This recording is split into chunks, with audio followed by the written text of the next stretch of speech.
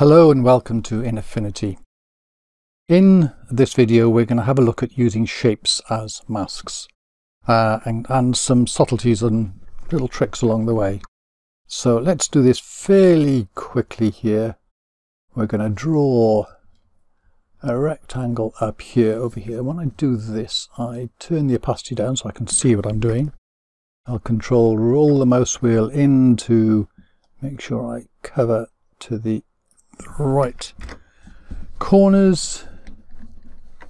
There we go, just that in to there. Then control zero out again. Then I'm going to convert to curves and use the node tool. I can then just grab the middle here and pull this up here.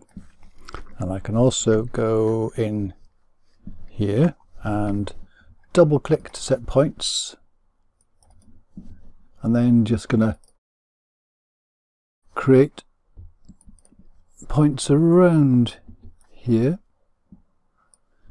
And then just pull out the sections.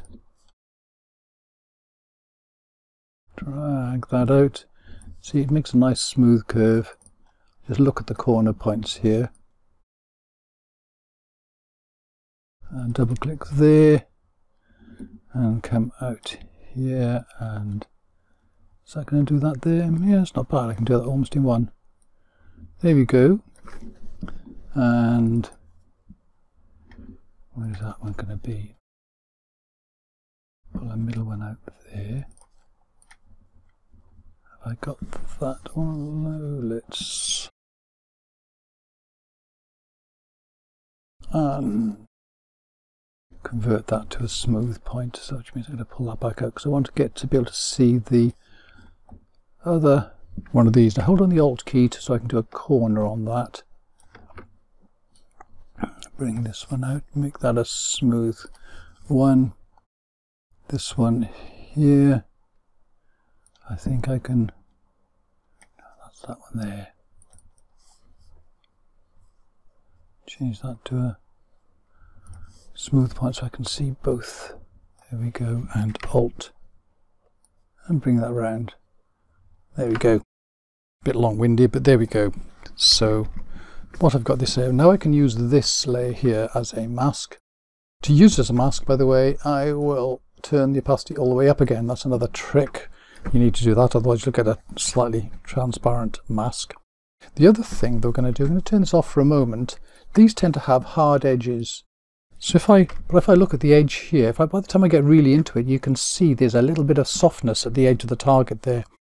So what you want to do is to put a bit of softness onto this here. So if I just leave that there and add a Gaussian blur. So add a blur and that's added then to that mask. I turn the radius up and it's basically going to soften the edge of it. I can still go to that mask by the way and, and adjust it. I won't do it for now.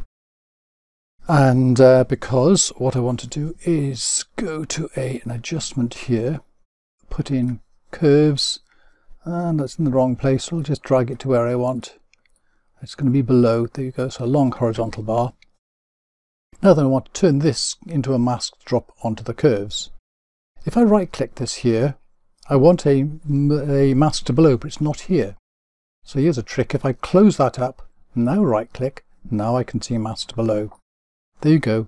And now if I go to that curves adjustment I can then turn this down, let's show that there, there you are, and adjust that uh, with that. Also what I can do, if I want to undo that, I can right click there and go release mask.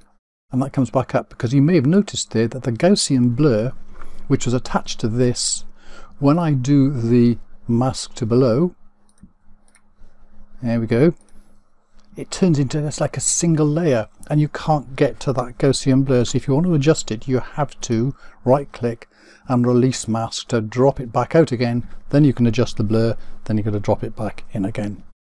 So there we go. Hope that was useful and thank you very much for watching.